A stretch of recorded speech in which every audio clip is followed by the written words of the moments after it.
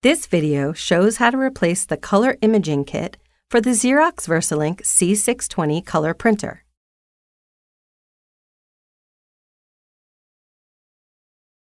The color imaging kit is accessible from the right side of the printer. Using the handle, open, then pull up Door B.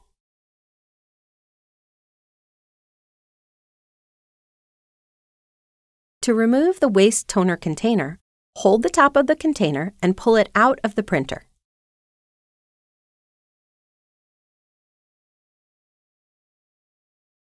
To release the toner cartridges, press the button below the cartridges. Remove the toner cartridges from the printer.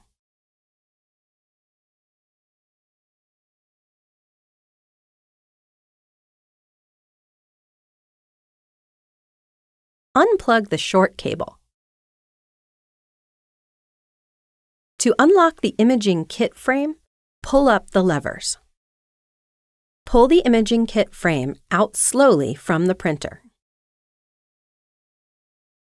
Unlock the latches and take out the K imaging kit from the old imaging kit frame.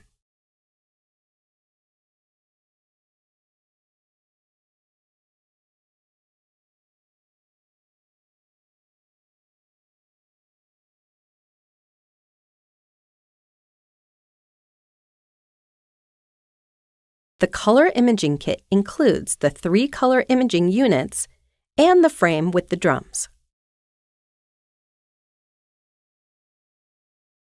Insert the old K imaging kit into the new frame and lock the latches.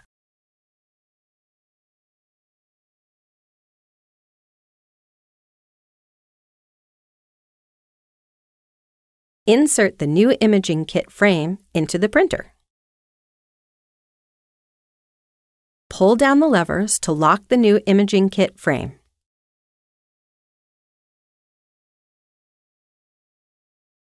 Insert the toner cartridges back into the printer.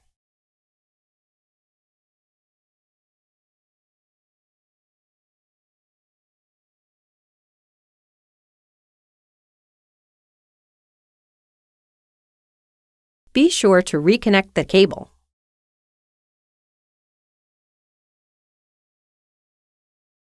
Insert the waste toner container back into the printer.